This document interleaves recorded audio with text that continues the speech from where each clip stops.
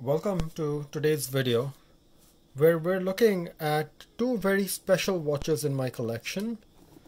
The original Rado Diastar from the this was a watch that came out in 1962 and the Diastar 14 which this watch came out in 1971 or maybe 1972 I think 1971 and of course the one thing that always is the most important part about the Rado is naturally the case. It's made of tungsten carbide, as many of you know. Some of you who don't know, tungsten carbide is a very scratch resistant uh, metal. So it has these very sharp finishes and it will have absolutely no scratches over the years that these watches have been worn. All Rados came with sapphire crystals. So again, the crystal won't have a, a scratch, the case won't have a scratch. They really look new after uh, 50 years for these watches. When the Diastar was introduced, it was the shield case that was the iconic Diastar case design. This is one of the very first watches in 1962 to have a sapphire crystal. Obviously the the tungsten carbide case is truly breathtaking because it just would not scratch. And remember in these days we have a lot of watches but in 1962 when this watch first comes out you really had two types of watches. You could either get a gold or gold filled watch, or you could get a stainless steel watch. And beyond those, you didn't really have a choice. So, in other words, when the Diastar comes out, the Diastar Shield in 1962, you could get a stainless steel watch like this Omega Seamaster that I have here, or you could get a gold plated watch like this, even though this is a much later uh, Omega quartz watch. The Diastar does change everything. Its design was extremely innovative. This was a futuristic space age design for its time. It was really a watch like no other.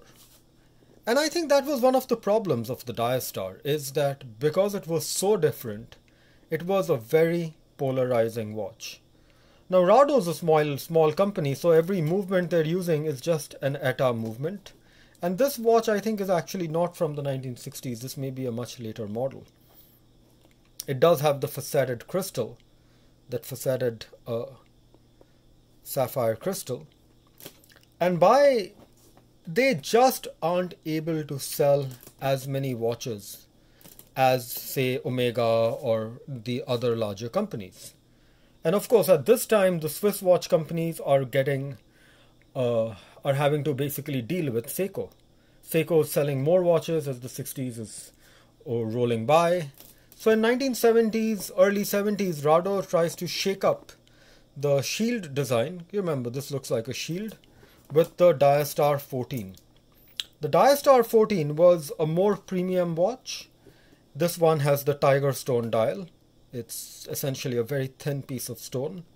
You know it's a tiger stone dial because the Rado and the Diastar would be printed on this. It would not be uh, applied like on this one.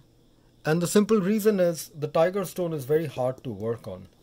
Similarly, the anchor at the 12 o'clock that actually pivots is just printed on the tiger stone dial because again you can't really drill holes in this very thin stone veneer.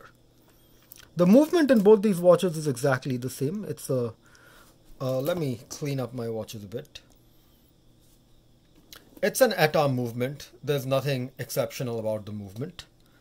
The width of the cases is about 36, 37 millimeter and the lug to lug in case of the shield is 42 millimeters in case of the diastar 14 this is about 39 or 40 millimeters nothing significant uh, 12 millimeter case uh, thickness.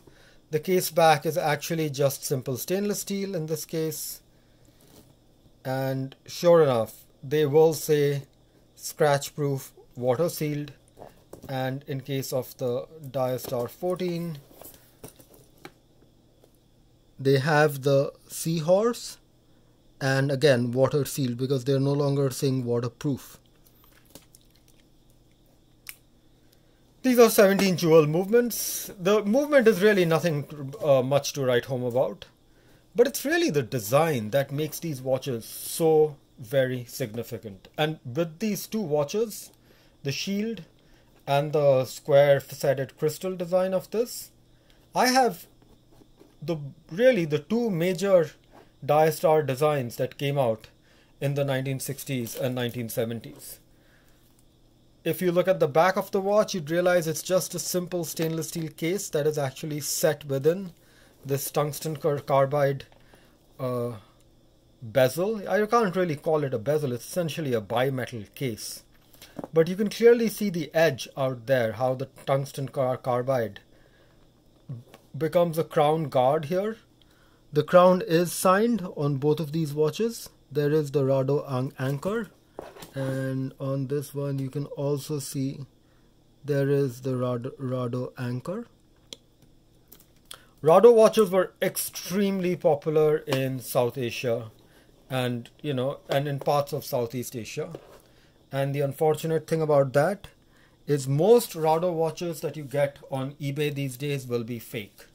In fact, that's why I had to wait for such a long time to get my Rado watches because I needed to get them from a verified source where I knew I was sure about the authenticity.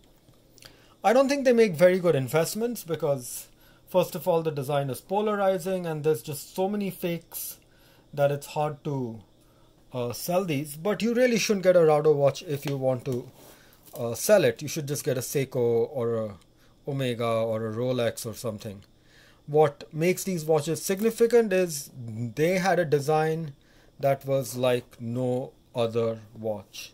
And because they had the tungsten carbide and they had that sapphire crystal, they are completely scratch proof after 50 years.